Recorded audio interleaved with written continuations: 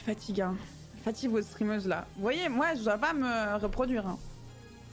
Déjà mes parents, il y a déjà eu un, cheveu dans la soupe.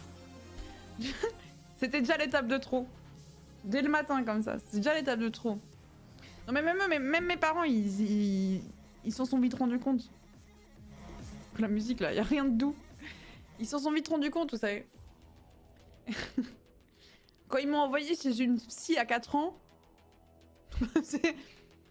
peut-être y avait peut-être y avait un signe. écoutez, euh, ils sont vraiment arrivés chez le psy en disant bah écoutez, euh, elle dort pas. Non, elle veut pas. À 4 ans, je sais pas à quel âge j'avais. Non, non, non, mais en fait, c'était juste. Euh, vous inquiétez. c'est vrai que c'est terrible ce que je raconte. Moi, vous savez, j'ai ma théorie sur mon psy de mes 6-7 ans. Non, je savais quand même. Hein. Merci Pierrel pour le sub. J'ai une théorie, c'est que mon frère, il est chelou de ouf. Mon frère est vraiment. Hein, c'est chelou. Vraiment bizarre. Sauf que c'est le grand frère. Et du coup, je pense qu'ils ont eu le frère chelou. Ensuite, la fille normale. Rien à foutre, mon frère. Fille normale. Et en fait, du coup, ils sont passés de L'enfant parfait. Vous savez, parce qu'il est tout concentré, tout calme, gentil. Et ensuite, ils ont eu un gamin, quoi.